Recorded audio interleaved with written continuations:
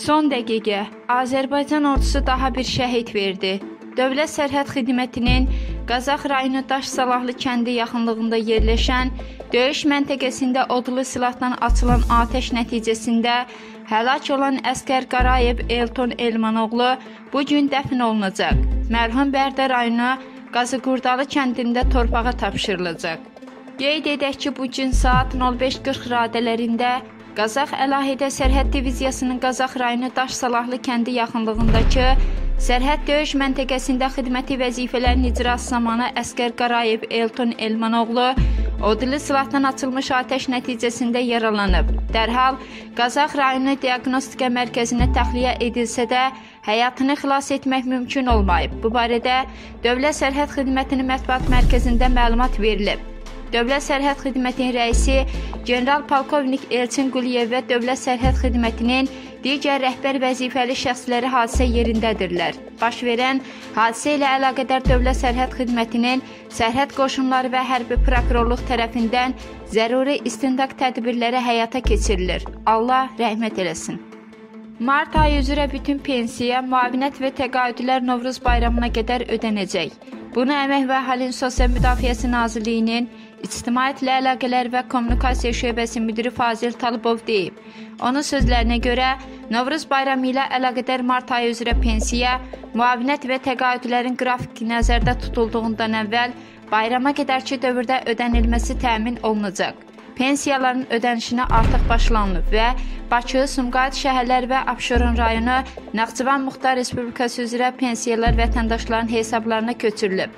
Növbəti iş günlərində bu proses digər bölgələr üzrə davam edəcək və martın 19-na dək bütün növ pensiyaların ölkə üzrə ödənişi başa çatacaq. Həmçinin müavinət və təqaüdlərində yaxın günlərdə qrafikdən əvvəl ödənişinə başlanması və həmin ödənişlərində Novruz bayramına qədər həyata keçirilməsi nəzərdə tutulub. Xəbər verdiyimiz kimi bu gün saat 05:40 radələrində Qazax Əlahədə Sərhəd Diviziyasının Qazax rayonu Daş Salahlı kəndin yaxınlığındakı sərhəd döyüş məntəqəsində xidməti vəzifələrinin icrası zamanı Əskər Qarayev Elton Elmanoğlu odlu silahdan açılmış atəş nəticəsində yaralanıb. Əskər dərhal Qazax rayonu diaqnostika mərkəzinə təxliyə edilsə də, həyatını xilas etmək mümkün olmayıb. 14.03.2001-ci il təvəllüdlü hərbiçimiz ötən ilin aprelində hərbi xidmətə gedib. Bu ayın 14-də onun 19 yaşı tamam olacaqdı. Allah rəhmət eləsin.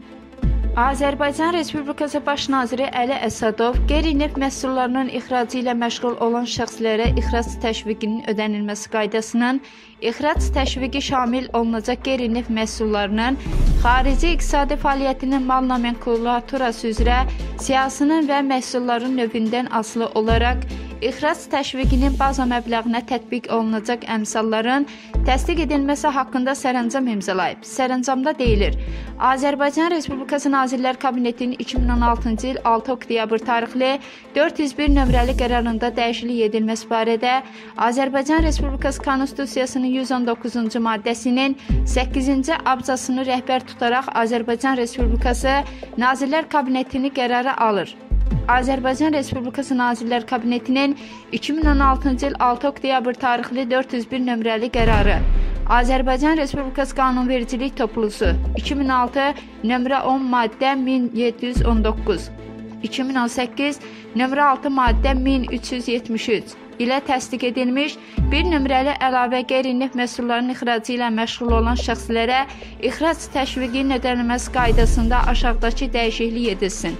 1. 2.2 6-cı yarımbənd aşağıdakı redaksiyada verilsin. 2.2.6 Üzərində Azərbaycan Respublikası gömrük orqanının ixrac olunan malın gömrük ərazisindən çıxarılması ilə bağlı qeyd olunan növündən asılı olaraq nəqliyyat sənədinin surəti 2.2.3 bənddə 2 rəqəm və sözü 3 rəqəm və sözü ilə əvəz edilsin.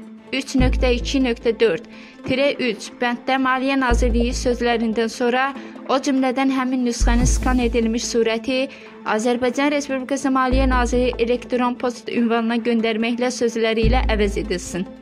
Vilayət Eyvazov işdən çıxarılan rəisin oğluna yeni vəzifə verib. Daxili İşlər orqanlarında yeni kadr təyinatı olub. Bununla bağlı Daxili İşlər Naziri general polkovnik Vilayət Eyvazov əmr imzalayıb. Əmrə əsasən polis kapitanı Vüsal Qələndərov Abşeron rayon Dövlət Yol Polisi şöbəsinin baş inspektoru vəzifəsinə təyin edilib. Daxili İşlər Nazirliyinin mətbuat xidməti faktı təsdiqləyib. Xatırladaq ki, bundan əvvəl həmin vəzifədə çalışan polis mayoru Qara Abdullayev nazirin müvafiq əmri ilə Nəsimi rayon Dövlət Yol Polis şöbəsinə rəis təyin olunub. Qeyd edək ki, Gələndərov daha əvvəl Nəsimi rayon Dövlət Yol Polisi şöbəsinin rəisi vəzifəsindən azad edilən Qəhrəman Gələndərovun oğludur. Gələndərov Azərbaycan KP yığma komandasının üzvüdür. O, ötən il həmin döyüş növü üzrə dünya ikincisi olub. Erməni qız hər kəsin gözü qarşısında Paşinyanı təhqir edib. Məşhur Rusiyalı jurnalist Vladimir Solovyov özünün Telegram səhifəsində Ermənistanın baş naziri Nikol Paşinyanın iştirakı ilə metroda baş vermiş insidenti paylaşıb. Qeyd edək ki, videonun şərh bölməsində yazılıb. Paşinyan bu gün metroda insanları referenduma çağırıb. Baş nazir onun populizmini və referendumu qəbul etməyən qızla toqquşub. Paşinyanın payladığı buklet qız tərəfindən cırılaraq onun üzünə çırpılıb. Yeni icra başçılarının maaşı açıqlandı. Prezident İlham Əliyevin martın 5-də imzaladığı sərəncamla Mirhəsən Seyidov Neftçala rayon icra hakimiyyətinin başçısı təyin olunub. Ölkə başçısının digər sərəncam ilə Nahid Bağırov İsmailin icra başçısı vəzifəsi postuna gətirilib. Mirhəsən Seyidov və Nahid Bağırovla bağlı sosial şəbəkələrdə aparılan müzakirələrin aktuallığını nəzərə alıb, onların aylıq nə qədər maaş alacağı ilə bağlı kiçik araşdırma aparılıb. Qeyd edək ki, icra başçılarının maaşları Prezident İlham Əliyevin 2018-ci ilin 13 martında imzaladığı sərəncamla müəyyən olunur. Şəhər və rayonlar üzrə icra başçılarının maaşları əhali sayına uyğun olaraq təyin edilir. Əhalisi 50 min, 100 min nəfərə olan ərazisinin icra başçısı 990 manat maaş alır. Ən son məlumatlara görə Neftçalanın əhalisi 88 min nəfərdən çoxdur. Deməli, Mirhəsən Seyidovun aylıq əmək haqqı 990 manat olacaq. İsmailli rayon əhalisi isə 86 min nəfərdən çoxdur. Bu baxımdan Nahid Bağırovun da maaşı 990 manat olacaq. Onu da əlavə edək ki, icra başçısının Bakı şəhər üzrə maaşı 1925 manat məbləğində müəyyən olunub. Gəncə və Sumqayıt şəhərləri üzrə isə bu rəqəm 1280 manat təşkil edir. İcra başçısı əhalisi 100 min nəfərdən çox olan əraziyə rəhbərlik edirsə, onun maaşı 1045 manatdır. Əhalisi 50 min nəfərdən az olan ərazilərin icra başçıları isə daha az əmək haqqı alırlar. Onların nə vacibi 880 manatdır. Koronavirus infeksiyasının Azərbaycan ərazisində yarada biləcəyi təhlükənin qarşısının alınması məqsədi ilə təxirə salınmaz tədbirlər davam etdirilir. Bu barədə Nazirlər Kabinetinin yanında operativ qərargahda məlumat verilib. Nazirlər Kabinetinin sərəncamına əsasən yoluxma hallarının qarşısının alınması və ölkə ərazisində yerləşən bütün təhsil müəssisələrində tibbi profilaktik, dezinfeksiya edici və digər qabaqlayıcı tədbirlərin davam etdirilməsi məqsədi ilə 2020-ci il mart ayının 10-dan 20-sinədək ilk tədris günü mart ayının 27-si müəyyən edilir. Bütün təhsil müəssisələrində tədris, təlim-tərbiyə prosesi dayandırılır və bununla bağlı bütün tədbirlər təxirə salınır. Ekologiya və Təbii Sərvətlər Nazirliyinin Milli Geoloji Kəşfiyyat Xidmətinin geoloji planlaşma ekspedisiyasının rəisi Əziz Qaralov vəzifəsindən azad edilib. Nazirlik mətbuat xidmətindən daxil olan məlumata görə Qaralov yaşla əlaqədar təqaüdə göndərilib. Nazirliyin Milli Geoloji Kəşfiyyat Xidmətinin geoloji planlama ekspedisiyasının rəisi vəzifəsinə təyinat yoxdur. Hazırda həmin vəzifəyə kadr təyinatı məsələsinə baxılır. Qeyd edək ki, Əziz Qaralov 1977-ci ildən geoloq kimi fəaliyyət göstərib.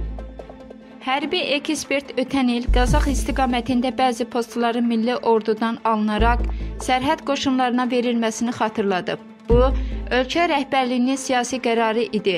Dövlət Sərhəd Xidməti ilə həmin mövqeləri Müdafiə Nazirliyindən təhvil alandan sonra orada müəyyən işlər apardı. Həmin istiqamətdə bizim Qazax əlahədə diviziyamız var. Sərhəd diviziyamız həm Azərbaycan-Gürcüstan, həm də Azərbaycan-Ermənistan sərhədində qarşıya qoyulan tapşırıqları yerinə yetirir. Bizim sərhəd xidmətimizin əskər və zabitləri bu müddət ərzində çox böyük işlər görüb. Bir müddət bundan əvvəl Dövlət Sərhəd Xidmətinin rəhbərliyinin dəvəti ilə ictimaiyyət və mətbuat nümayəndələri işğaldan uzun müddət əziyyət çəkən əraziləri bizimlə tanış etdi. Texnikanın işləyə bilməyəcəyi bir yerdə əskərlərimiz humanist istehlam qurğuları vasitəsilə mövqelər qurub. Üzeyir Cəfərli son 2 gündür Azərbaycan əskərlərinə qarşı törədilən təxribatın cavabsız qalmayacağını deyib. Cəlilabaddan və Bərdədən hərbi xidmətə çağırılan əskərlərimizin şəhid olması xəbəri bizim üçün ağır və üzücü haldır. Ancaq belə hallar müharibə vəziyyətində olan ordularda gündəlik rast gəlinə bilən hadisədir. Burada Ermənistan tərəfinin həyasızlığı, beynəlxalq normalara əhəmiyyət verməməsi, ATƏT Minsk qrupunun həmsədrlərinin bu kimi təxribatlara adekvat münasibət bildirməməsi düşməni şirinlikləndirir. Azərbaycan əskərləri həm Dövlət Sərhəd Xidməti, həm də Müdafiə Nazirliyi düşmənə yetərincə zərbələr vurublar. Hərbiçilər özbaşına deyil, Onlar əmrə tabe insanlardır. Ali Baş Komandan qərar verdikdən sonra nəsə demək olar. Düşmənin hansı zərbələr alması ilə bağlı biz xırda detalları açıqlayırıq. Ermənistanın tərəfi təxribatlarına qarşı layiqincə cavabını alıb. Yanvarın 1-dən bu günə qədər düşmən 20-dən artıq əskərini itirib. Düşmən onların 9-unu rəsmi olaraq paylaşsa da, digərlərini gizlədib, başqa adla təqdim edir. Düşünürəm ki, bu təxribatın düşmən üçün hansı ağır fəsadları verəcəyini yaxın saatlarda və yaxın bir neçə gündə şahidi olacağıq. Qeyd edək ki, bu gün saat 05:40 radələrində Qazax Əlahədə Sərhəd Diviziyasının Qazax rayonu Daş Salahlı kəndi yaxınlığındakı sərhəd döyüş məntəqəsində xidməti vəzifələrin icrası zamanı əskər Qarayev Elton Elmanoğlu odlu silahdan açılmış atəş nəticəsində yaralanıb. Dərhal Qazax rayonu diaqnostika mərkəzinə təxliyə edilsə də həyatını xilas etmək mümkün olmamışdı.